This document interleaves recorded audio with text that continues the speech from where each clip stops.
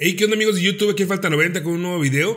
Y bueno amigos, en esta ocasión les tenemos este tweet de CD llamado HTC Lock, que nos va a permitir, bueno, como pueden ver, nos cambia lo que es la pantalla de desbloqueo, dándonos estas cuatro opciones. Y la verdad, este, está muy interesante. Eso es muy similar a lo que es este, los teléfonos HTC, que llevan por sistema operativo Android, como ya podrán saber. Y bueno, nos da estas cuatro opciones. Una de ellas es desbloquear este, yéndonos a YouTube, la otra es únicamente desbloquear, la otra es poder enviar un mensaje y la otra es abrir una página de internet.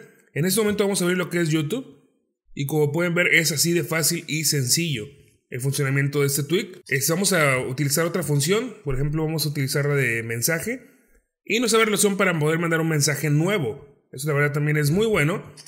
Y bueno, en la opción del navegador nos abre lo que es la página principal. En este caso yo tengo Google como página principal.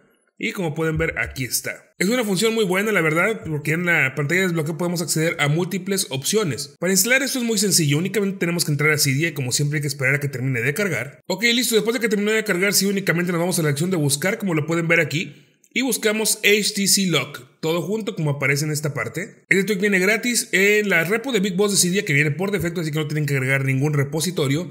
Y bueno, aquí donde aparece modificar, a usted le va a aparecer instalar y lo instalan.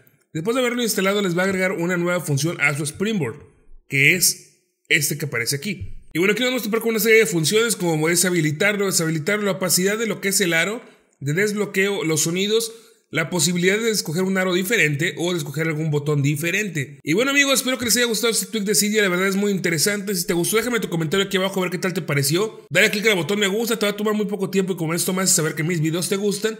Y si eres nuevo en este canal, suscríbete a la parte de aquí arriba. Yo soy Alfalta 90 amigos y nos vemos más tarde en otro video. Bye. Gracias por haber visto mi video, por tu like y por tu comentario. Te invito a dar clic en el botón de la izquierda para ver mi video anterior, o dar clic en el botón de la derecha para ver un video que yo te recomiendo. Da clic en el botón inferior para poder suscribirte. Nos vemos hasta la próxima.